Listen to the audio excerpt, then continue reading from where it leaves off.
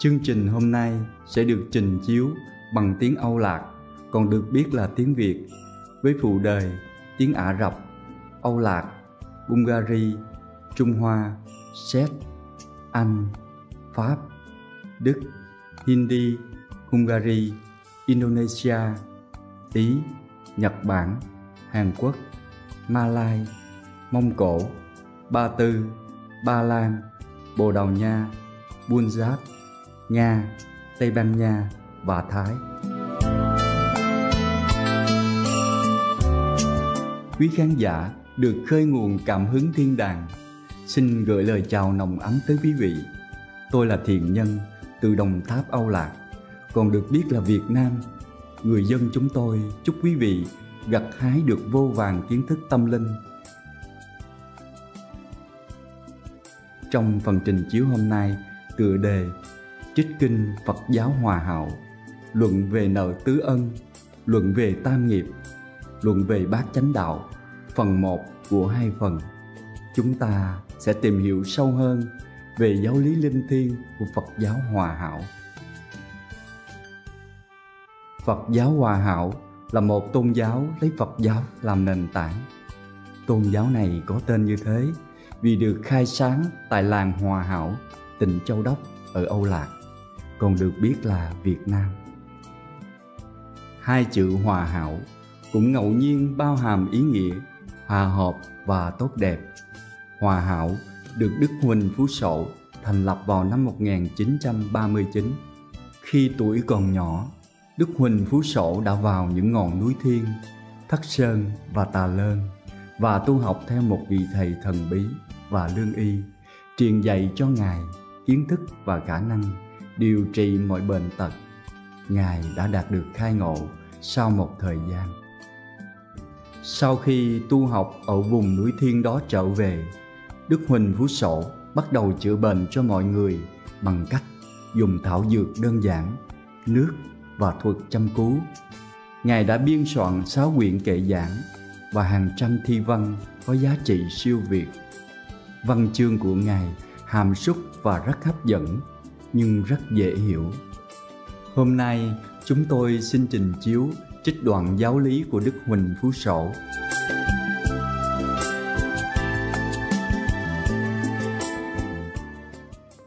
Tứ ân, sách xưa có câu Thiên kinh vạn điển, hiếu nghĩa vi tiên Muôn vạn quyền kinh của Phật Thánh Tiên đều dạy Sự hiếu nghĩa làm đầu Hôm nay đã quy y đầu Phật Tu niệm tại gia Ta hãy cố gắng vâng lời Thầy Tổ đã dạy. Lo tròn câu hiếu nghĩa Đức Phật Thầy Tây An Thuở xưa thường khuyến khích đệ tử rằng Muốn làm xong hiếu nghĩa Ta có bốn điều ân cần phải hy sinh gắn gỗ. Mới mong làm trọn Ân tổ tiên cha mẹ Ân đất nước Ân tam bảo Phật, Pháp, Tăng Ân đồng bào và nhân loại. Ân tổ tiên cha mẹ, Ta sanh ra cõi đời, Được có hình hài để hoạt động, Từ thuở bé cho đến lúc trưởng thành, Đủ trí khôn ngoan Trong khoảng bao nhiêu năm trường ấy. Cha mẹ ta chịu biết bao khổ nhọc, Nhưng sanh ra cha mẹ là nhờ có tổ tiên, Nên khi biết ơn cha mẹ, Cũng có bổn phận phải biết ơn tổ tiên nữa. Muốn đền ơn cha mẹ Lúc cha mẹ còn đang sanh tiền, Có dạy ta những điều hay lẽ phải. Ta ráng chăm chỉ nghe lời, Chớ nên sao lãng, Làm phiền lòng cha mẹ. Nếu cha mẹ có làm điều gì lầm lẫn Trái với nhân đạo, Ta ráng hết sức tìm cách, Khuyên lơn, ngăn cản. Chẳng thế, Ta cần phải lo nuôi dưỡng báo đền, Lo cho cha mẹ khỏi đói rách, Khỏi bệnh hoạn ốm đau gây sự hòa hảo trong đệ huynh, tạo hạnh phúc cho gia đình, cho cha mẹ vui lòng thỏa mãn, ráng cầu cho cha mẹ được hưởng điều phước thọ. Lúc cha mẹ quá vãng, hãy tu cầu cho linh hồn được siêu thăng nơi miền phật cảnh, thoát đọa trầm luân. Còn đền ơn tổ tiên, ta đừng làm điều gì tồi tệ, điếm nhục tông môn. Nếu tổ tiên có làm điều gì sai lầm gieo hòa đau thương lại cho con cháu. Ta phải quyết chí tu cầu và hy sinh đời ta, làm điều đạo nghĩa, rửa nhục tổ đường. Ân đất nước, sanh ra ta phải nhờ tổ tiên cha mẹ. Sống ta cũng nhờ đất nước quê hương, hưởng những tất đất, ăn những ngọn rau. Ta cảm thấy bổn phận phải bảo vệ đất nước. Muốn cho sự sống được dễ dàng giống nòi được truyền thụ, ráng nâng đỡ xứ sở quê hương lúc nghiêng nghèo và làm cho được trở nên cường thành. Hãy tùy tài tùy sức, nỗ lực hy sinh cho xứ sở. Thẳng như không đủ tài lực, đảm đương việc lớn. Chưa gặp thời cơ giúp đỡ quê hương, ta phải ráng tránh. Đừng làm việc gì sơ suất, đến đội làm cho nước nhà đau khổ đó là ta đền ơn cho đất nước vậy. Ân tam bảo. Tam bảo là gì? Tức phật, pháp, tăng. Con người nhờ tổ tiên cha mẹ sanh ra nuôi dưỡng, nhờ đất nước tạo kiếp sống cho mình. Ấy về phương diện vật chất, về phương diện tinh thần, con người cần nhờ đến sự giúp đỡ của phật, pháp, tăng, khai trí mở óc cho sáng suốt phật là đấng toàn thiện, toàn mỹ. Bác ái vô cùng, cứu vớt sanh linh ra khỏi trầm luân khổ hại thế nên, ngài mới truyền lại giáo pháp, tức là những lời chỉ dạy cho các chư tăng, đặng đem nền đạo của ngài ban bố khắp trần thế. Các chư tăng chẳng ai lạ hơn những đại đệ tử của đức phật vậy, bởi vì đức phật luôn luôn chỉ dẫn và cứu vớt quần sanh thoát miền mê khổ, nên ta phải kính trọng phật. Hãy tin tưởng và tín nhiệm vào sự nghiệp cứu đời của ngài. Làm theo những lời chỉ dạy do các chư tăng cho biết. Tổ tiên ta đã hiểu rõ sự nhiệm màu, lòng quảng ái của phật đối với chúng sanh, đã kính trọng sùng bái ngài, đã hành động đúng theo khuôn khổ ngài đã dạy và đã vun trồng bồi đắp cho nền đạo.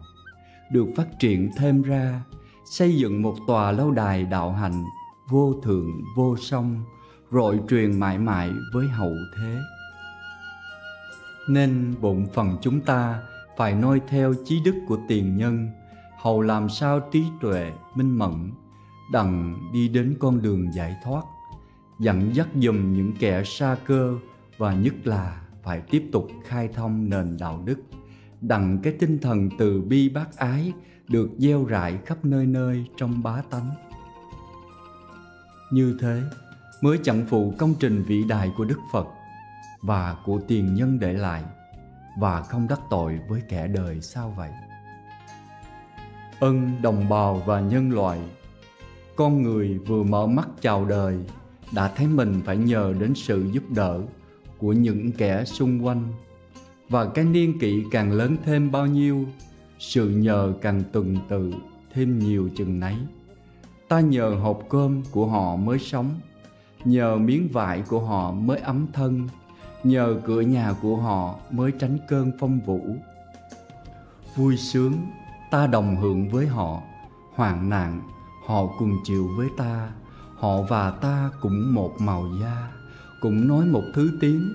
Ta và họ hợp nhau thành lại làm một. Ấy, quốc gia đó, họ là ai? Tức những người ta thường gọi bằng đồng bào vậy. Đồng bào ta và ta, cùng chung một chủng tộc, cùng nòi giống roi truyền, cùng trang lịch sự vẻ vang, cùng tương trợ lẫn nhau trong cơn nguy biến, cùng chung phận sự đào tạo một tương lai rực rỡ trong bước tiền đồ của giang sang đồng bào ta và ta có một liên quan mật thiết, không thể rời nhau, chẳng thể chia nhau. Và chẳng khi nào có ta mà không có đồng bào, hay có đồng bào mà không có ta. Thế nên ta phải ráng giúp đỡ họ, hầu đền đáp cái ơn mà họ đã thọ trong muôn một. Chẳng những thế thôi, ngoài đồng bào, ta còn có thế giới người đang cầm cụi cần lao cung cấp, những nhu cầu cần thiết. Họ là nhân loại, là những người đang sanh sống với chúng ta trên quả địa cầu. Nếu không có nhân loại, thử hỏi dân tộc ta ra như thế nào? Ta có đủ vật liệu để dùng chăng? Ta có thể tự túc một cách đầy đủ chăng?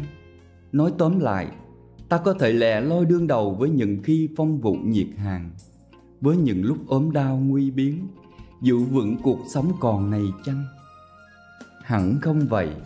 Thế nên dân tộc ta phải nhờ đến nhân loại, nghĩa là nhờ đến dân tộc khác, và phải biết ơn họ. Hãy nghĩ đến họ cũng như mình nghĩ đến mình và đồng chủng mình. Vả lại, cái tình từ bi bác ái của đức phật rất thâm huyền quảng lượng, không bến không bờ không phân biệt màu da, không phân biệt chủng tộc, không luận sang hèn, mà chỉ đặt vào một, nhân loại chúng sanh. Thế ta không có lý do gì chánh đáng, để vì mình hay vì đồng bào mình gây ra tai hại cho các dân tộc khác.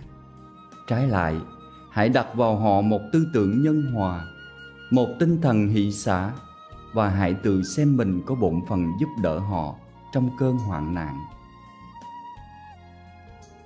Đối với những kẻ xuất gia, quy y đầu phật, phụ vào những ân huệ đã thọ như đã nói trên, họ còn phải trực tiếp chịu ân các đàn na thí chủ, nghĩa là những thiện nam tín nữ, có hạo tâm cung cấp những vật dụng cần thiết cho họ.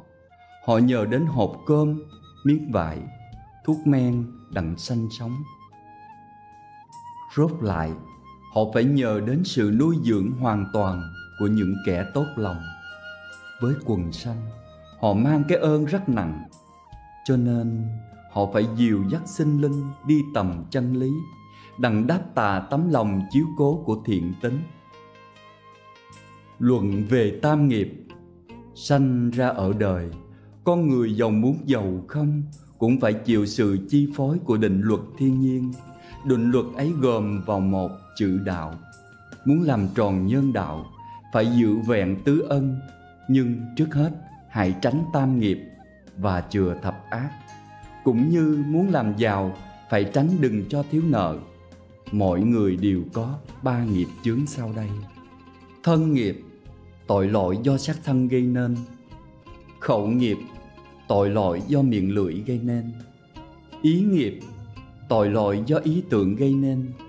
Ba nghiệp chướng ấy khiến con người phạm mười điều ác, kể ra dưới đây. Thân nghiệp sanh ba điều ác, sát sanh, đạo tặc, tà dâm. Khẩu nghiệp sanh bốn điều ác, lưỡng thiệt, ỷ ngôn, ác khẩu, vọng ngữ. Ý nghiệp sanh ba điều ác, tham lam, sân nộ, mê si sát sanh, con người mới sanh ra ở đời đều có tánh hiền lành cả, song đến lớn khôn. Vì phải chung chạ với thế giới người hung tàn bạo ngược, tánh nết ô nhiễm. Những sự xấu xa hèn kém trở nên độc ác dữ dằn. Loài người giết nhau vì tiền bạc, vì sắc đẹp, vì lợi danh, vì quyền thế, vì thù hiềm, vì háo thắng họ giết nhau vì sự lợi ích của một người, của một nhóm người, của một đẳng cấp xã hội, của một quốc gia. Họ muốn tiêu diệt tất cả nhân loại. Không một ai có quyền sống sanh cùng họ cả. Tại trào nội sự mà vua coi bầy tôi như cỏ rác, bầy tôi sánh vua như thể địch thù, đã làm nguyên nhân cho biết bao cuộc tương tàn, tương sát ngoài lê thứ thì con giết mẹ cha, tớ hại chủ, trò giết thầy, chồng vợ giết nhau, đề huynh sâu xé. Những cuộc tương tàn rất thường xảy ra trong nhân loại, không ngoài các lý do kể trên. Đó là người đối với người người đối với thú cầm sanh vật, còn tàn nhẫn gấp mấy nữa. Họ giết thú vật vì miếng ăn, vì dị đoan mê tín vì sự vui thích, nhất là chẳng khá giết các thú vật trong khi tế lễ. Người ta tưởng rằng khi mình phạm tội với thánh, thần, trời, đất, có thể sát hại sanh vật cúng tế, cầu cho tội quả tiêu trừ. Sự tin tưởng ấy rất sai lầm huyện hoặc. Vì đứng vào bậc hình cao cả như chư vị thánh thần, có lý nào vì một tình riêng, làm sai chạy lẽ công khi gặp tai nạn bất ngờ hay rủi ro đau ốm, con người không chịu thuốc thang, khấn vái phật trời, cầu cho tai nạn qua khỏi, lại giết các thú vật, tế thần cúng thánh, kêu cốt kêu đồng. Họ không chịu tìm nguyên nhân của sự họa hoạn, không chịu tìm hiểu rằng những tai biến xảy ra đều do căn tiền quả báo và không chịu ăn năn chừa lỗi, tạo tác phước điền. Trong khi giết các thú vật đặng tế lễ, họ đã phạm thêm một tội ác lúc họ chưa đền bồi các tội ác trước được. Chẳng những vậy thôi, họ còn giết các thú vật vì sự vui thích của mình. Kẻ bắn chim đang bay trên trời, người chặt cá đang lội dưới nước họ bắt thú vật, làm tấm bia cho họ nhắm, trong những khi cao hứng. Quên hẳn rằng, sinh vật cũng có linh hồn, cùng có thân xác, cũng biết tìm lẽ sống còn như nhân loại vậy. Thế nên, hãy tha thứ cho chúng, hãy dung dưỡng chúng, và nhất là đối với các gia súc, trâu, bò, ngựa, chó, mèo. Chẳng khá sát hại, vì chúng đã giúp ích cho ta trong các việc sanh hoạt hàng ngày. Tóm lại, không có sự sát sanh nào có thể tha thứ được. Đạo tặc, bần cùng sanh đạo tặc, là một câu chữa mình của bọn bất lương. Những kẻ này, ngày vận vơ đầu đường xó chợ, tối kiếm chỗ, khoét vách đào tường. Không làm, muốn có ăn, không lo, muốn có mặt lớp người cặn bã của xã hội này sống ngoài vòng pháp luật, trốn nhụi trốn chui, phá rối sự an ninh của dân chúng, chuyên giết người, cướp của, đoạt giật tài sản của lương dân. Không nghĩ rằng phải tốn bao nhiêu giọt mồ hôi, bao nhiêu dòng nước mắt mới làm ra được. Họ là giống sâu làm rầu nồi canh là tội nhân gây ra những tai biến trong những gia đình cần lao kiềm tiết là nguyên nhân của nghèo khổ, họ phá hoại hạnh phúc của con người. Cơ hàng đối khó, thay vì làm lùng như những kẻ khác, mưu cuộc sống còn. Họ gây lỗi này rồi đến lỗi khác, phạm tội này rồi tới tội nọ. Tạo chẳng biết bao nhiêu chuyện bất lành cho nhân chủng lưới trời tuy thưa nhưng khó lọt. Những kẻ ấy, dầu họ không bị luật hình của loài người phân sự, song cơ trời cũng sẽ báo ứng đến những hành vi đen tối. Nếu họ không chịu ăn năn chừa lỗi sửa tánh tu thân, bỏ thói vô nghị lánh điều phi nghĩa. Tà dâm, muôn việc lành hiếu thuận đứng đầu, ngàn việc dự tà dâm đứng trước. Sách sự thường bào như thế, lần dở xem sự sách. Thời thấy tội ác lan diện khắp nơi, từ trào nội cho đến thứ dân, từ trong gia đình cho đến kẻ xa, người lạ. Nó là mầm gây ra biết bao thảm trạng. Gương cụ vua tề với vợ thôi tự. An lộc sơn với dương ví phi. Há chẳng còn lưu liên hậu thế giàu ỷ của, hiếp dâm kẻ khó. Quan ỷ quyền, cường bức đám dân hèn. Gian phu, dâm phụ, từ xưa đến nay luôn luôn đều có. Muốn tránh sự bại hoại nền luân lý nước nhà. Muốn giữ gìn tiếng tâm của gia thế, phải đừng để dục tình lôi cuốn. Bắt chước gương xưa, trao dồi lòng hiếu trung, trinh tiết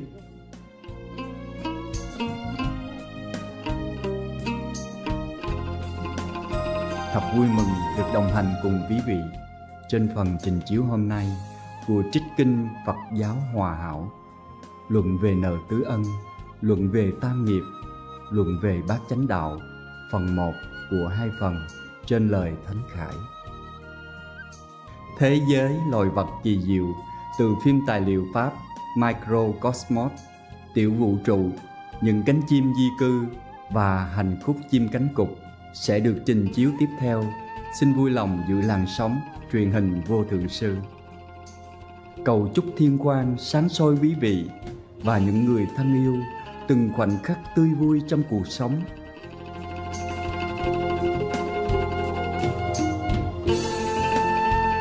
For more details, please visit www.suprememastertv.com forward slash WOW